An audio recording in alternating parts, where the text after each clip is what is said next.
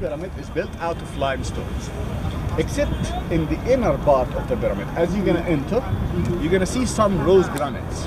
First of all, hello Mike, hello Sigrid. My uh-huh. name is Adham. Uh-huh. I'm the tour guide. Uh-huh. I'm the Egyptologist.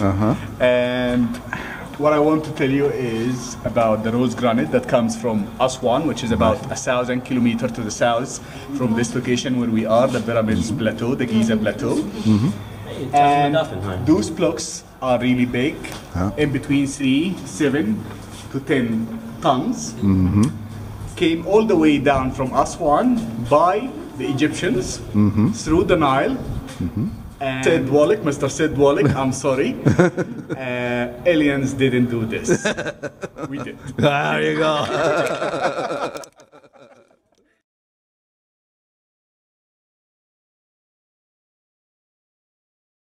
nice temples called Dendera in Upper Egypt in the south, close to Luxor. And this was in the uh, time, uh, the ancient times that people believed that the gods lived with men. That's okay. right. That's right. And they and they believed But this is. I mean, in ancient time they believed that in or at the beginning of the universe, men and gods lived together, and Egypt was ruled by gods. Right. So maybe these gods were aliens. Oh no! See now, yeah, oh, oh, oh no, no! I, I'm not. I'm not going to pass that one along. Okay. so this is how they constructed temples and pyramids. They told the same technique. Oh, okay. And so this is what's the leftover mud ramp From the goes all the way to the top. Right.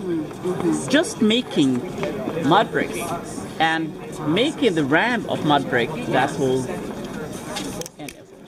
I'm. s- I'm just really surprised that aliens would need a mud ramp like that. They fly, right?